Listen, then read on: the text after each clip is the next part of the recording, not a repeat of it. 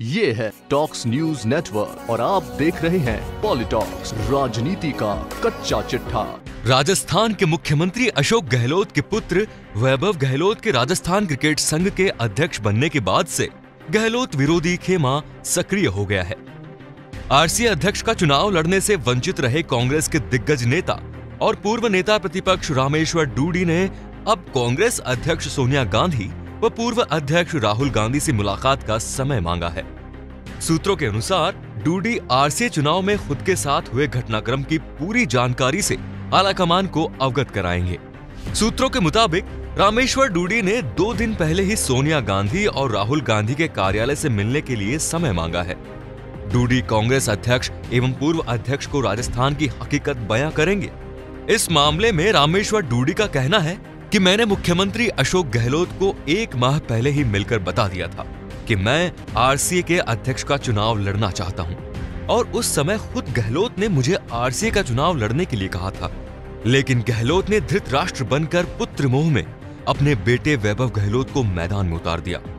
और सरकारी मशीनरी का पूरा दुरुपयोग करते हुए मुझे और मेरे समर्थक जिला क्रिकेट संघों को चुनाव अधिकारी से अयोग्य घोषित कर दिया। मुख्यमंत्री अशोक गहलोत ने चुनाव अधिकारी आर आर रश्मि को अपने पुत्र वैभव के पक्ष में करने के लिए सरकार में उच्च स्तर से मुख्य सचिव डीबी गुप्ता और सरकार के कृषि मंत्री लाल चंद कटारिया को जिम्मा सौंपा गया। अब रामेश्वर डूडी ने अपने समर्थकों के साथ मीटिंग करके ये तय किया है कि पहले पार्टी के अध्यक्ष सोनिया गांधी और राहुल गांधी से मुलाकात करके उन्हें आरसी के घटनाक्रम से अवगत कराया जाएगा। और तब भी सुनवाई नहीं हुई तो उसके बाद अगला कदम उठाया जाएगा। वरिष्ठ कांग्रेसी नेता डूडी ने कहा कि मैंने जाट नेता के रूप में 20 साल तक जाट समाज और किसानों के लिए संघर्ष किया है। पिछले पाँच साल विधानसभा में विपक्ष के नेता के रूप में मैंने किसानों की आवाज़ उठाई है। अपनी ही पार्टी से नाराज़ चल रहे डूडी ने यहाँ तक कहा कि जो नेता आज राज कर रहे हैं, वे पाँच साल विधानसभा में आए भी नहीं थे। मैंने भाजपा के खिलाफ संघर्ष किया और जनता की आवाज़ उठाई थी। अब मेरे खिलाफ साजिश करते हुए विधानसभा अध्यक्ष डॉक्टर सीपी जोशी की शह पर। मुख्यमंत्री गहलोत ने अपने पुत्र वैभव को आरसीए अध्यक्ष पद के लिए चुनाव मैदान में उतारा, जबकि उन्होंने पहले मुझसे वादा किया था। प्रदेश में कांग्रेस की सरकार बनने के बाद से मुख्यमंत्री अशोक गहलोत और प्रदेश कांग्रेस अध्यक्ष सचिन पायलट के बीच की अदावत किसी से छुपी नहीं है। अब आरसीए चुनाव को लेकर रामेश्वर डूडी ने जिस तरह से गहलोत के खिलाफ मोर्चा खोला है।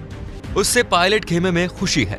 पायलट समर्थक कैबिनेट मंत्री भंवरलाल मेघवाल, परिवहन मंत्री प्रताप सिंह खाचरियावास, विधायक वेद प्रकाश सोलंकी, दानिश अब्रार, पी आर मीणा और प्रदेश कांग्रेस कमेटी के उपाध्यक्ष गोपाल सिंह व सचिव प्रशांत शर्मा लगातार डूडी के संपर्क में है। सूत्रों से मिली जानकारी के अनुसार आरसीए चुनाव में रामेश्वर डूडी के पैनल के लोगों ने गुरुवार शाम भाजपा के नवनियुक्त प्रदेश अध्यक्ष सतीश पूनिया से मुलाकात की। प्रदेश भाजपा मुख्यालय में हुई इस मुलाकात के दौरान वैभव गहलोत के सामने आरसी अध्यक्ष का चुनाव हारे जोधपुर जिला क्रिकेट संघ के राम प्रकाश चौधरी ने अपने मोबाइल से सतीश पूनिया की रामेश्वर डूडी से बात भी करवाई। इस सब के बीच अपने लंबे राजनीतिक जीवन में अपनी छवि के प्रति एक्स्ट्रा सजग रहने वाले मुख्यमंत्री अशोक गहलोत, पुत्र वैभव गहलोत के आरसीए अध्यक्ष बनने के बाद किसी विवाद में नहीं पड़ना चाहते।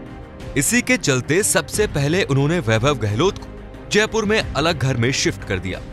दो दिन पहले जोधपुर में पत्रकारों से बात करते हुए गहलोत ने मीडिया से बातचीत में कहा था कि वैभव मेरे बेटे ज़रूर है, लेकिन वे मेरे साथ नहीं रहते। वे किराए के मकान में रहते हैं। राजनीति को लेकर मेरा उनसे कोई रिश्ता ना जोड़ा जाए। साथ ही रामेश्वर डूडी की नाराज़गी पर उन्होंने कहा कि डूडी मेरे बहुत करीब है, मगर अब करीब है या नहीं, इसका पता नहीं। Politalks bureau, Jaipur. ये है टॉक्स न्यूज़ नेटवर्क और आप देख रहे हैं पॉलिटॉक्स, राजनीति का कच्चा चिट्ठा।